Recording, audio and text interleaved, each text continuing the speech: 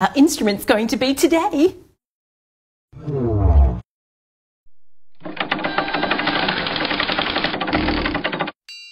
Buzz, are you ready to play a listening game? I wonder what today's sound's going to be. Oh, I know, I know. It's it's um. Buzz, you have to listen to the sound first. Oh, Have you got your listening ears on? check one, check check two.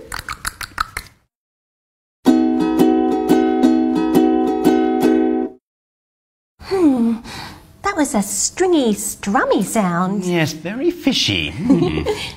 Do you know what the sound is? Let's listen again.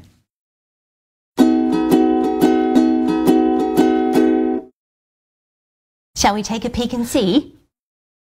wow!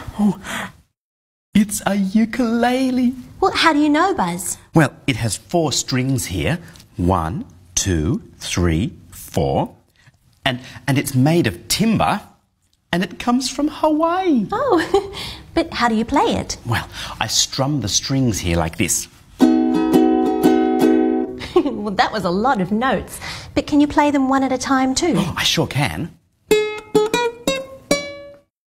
But where does the sound come from? Well, when I strum or pluck the strings here, they wobble the sound around inside the ukulele's little tummy and it jumps out the hole right here. Oh, but how do you change the notes? Good question. Well, I hold the strings down here to make the strings shorter.